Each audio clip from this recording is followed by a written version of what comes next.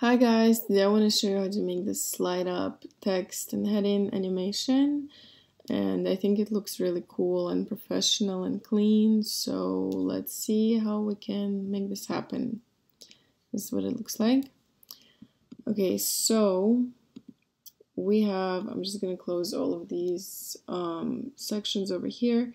And this portfolio section is the one we're going to be working with. So I'm going to open it all up um, we have a grid right here. And um, I created a grid with two columns and two rows.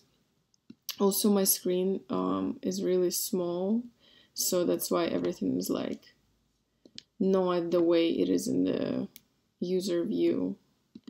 So, yeah, you just do it like by eye. so, let's see what we do with this grid. So it's set to static, the position set to static, and then I place this portfolio div block that I called portfolio divvy inside each of these, um, inside each of these like rows and columns in, in the grid. So the portfolio div is set to relative, which is important to note. The size is, the height is set to 270 pixels. And these are some of the other settings. Inside this div block, I have my heading. Uh, the heading is set to absolute. And um, these are some of the settings for the heading. To flip it kind of like 90 degrees, I went to 2D and 3D transition transforms and I just rotated it um, 90 degrees over here.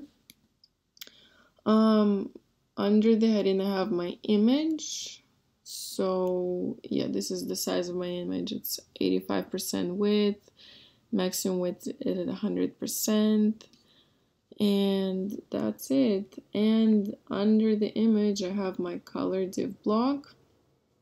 It's gonna be this div block. Um so I just set the color to black. I rounded the borders a little bit 10 pixels um, and this is the size. It's 70% width, 60 pixels height, and the position is on absolute. And please make sure to set the z index to 1 so it doesn't overflow. So it just comes on top of this image. Okay, and these are some more settings for this color div block. Inside this color div block, I have a button div block. It's this one. Um, so this is pretty much a square, 40 by 40 pixels, um, with rounded circles. So the borders are 20 pixels rounded. Uh, inside, I placed this little transparent image of a like a menu icon that I got on Canva. So you are free to do that as well. Under that, I have this view project text. Nothing special about that. And um, this is interesting. Um, the heading and the text block, that's what's going to be inside when we open our color div block. So uh, they're hidden at the moment because they're gonna I'm gonna show them like I'm gonna select them to show once the interaction is in action but just for now I'm gonna show you guys what it looks like um, okay so here is this heading just in white so you can't see it but if I change the color to like red you are gonna see it.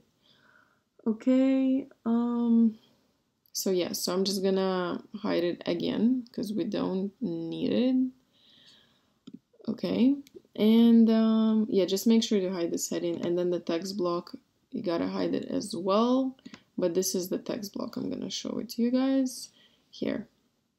So I'm gonna hide this um, so now we're gonna go to to the color div, oh no, actually to the button div, because when the user is gonna be clicking on the button, that's when the interaction is gonna start. Okay, so this is, we start an element trigger mouse click animation. Um, yeah, so I'm just gonna show you guys how I did my animation. This I called it mouse click. So pretty much you got to select the color div and select the action. The action is going to be size. And these are my settings for this action.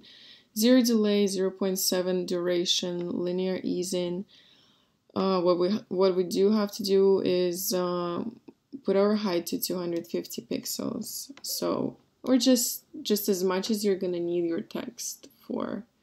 Um, this is enough to show my text, so this is what I selected. Um, then um, I selected my view project text and the action that's happening here is hide show, so I make it disappear. So pretty much this is what we're doing here. We hide this text. So just like our text block and our head and our heading were hidden at the beginning, we hide this view project text when the interaction is happening. Okay, and here's our text block. we start our hide show action over here. Um, all of the actions are starting with previous action, by the way, just one thing to note. And the display is set to here, show pretty much for this element, uh, 0.8 delay and 0 duration for this element. Then I also wanted to move my text a little bit so it kind of slides from the bottom. That's why I put it to minus 10 pixels over here. And um, also 0.8 delay and 0.5 duration for the text block. Um, here comes our heading.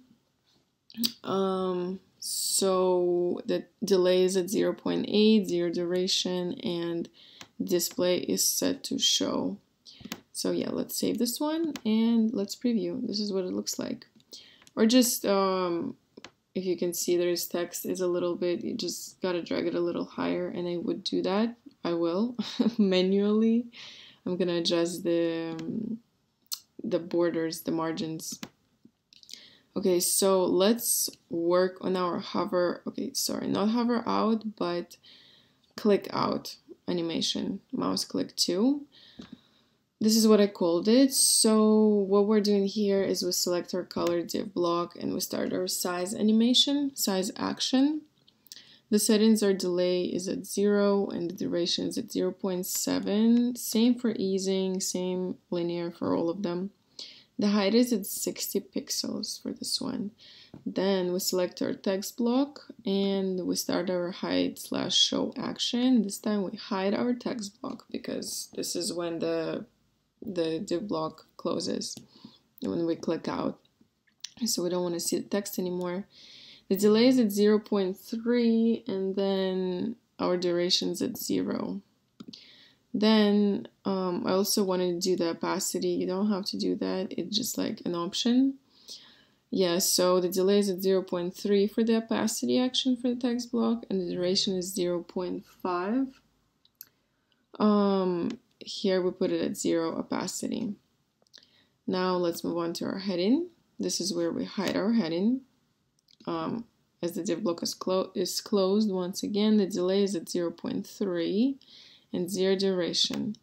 And now our view project um, text button comes back. So we just set the display to show. Delays at 0.3, zero duration.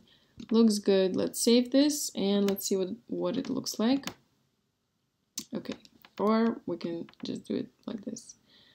Um, here. So let's click on our button uh, perfect. Yeah, actually our text does fit all of it.